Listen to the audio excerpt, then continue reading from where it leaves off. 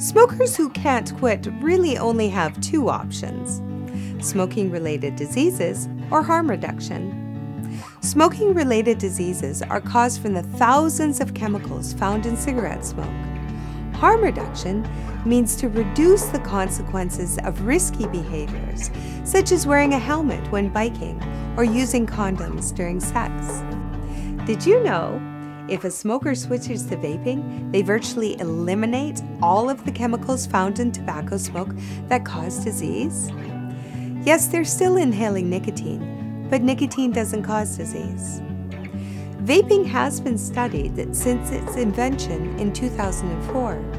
And since 2016, the United Kingdom has been successfully helping smokers quit by promoting vaping as an alternative.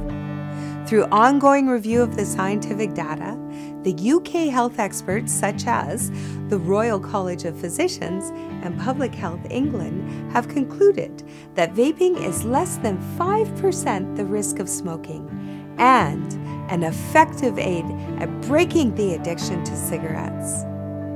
Smokers in the UK aren't unique, so vaping can be used as harm reduction for every smoker in the world.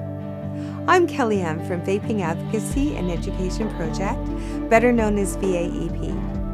Our nonprofit reviews the science on vaping and makes it easy for anyone to understand. Go to vaep.info for vape info.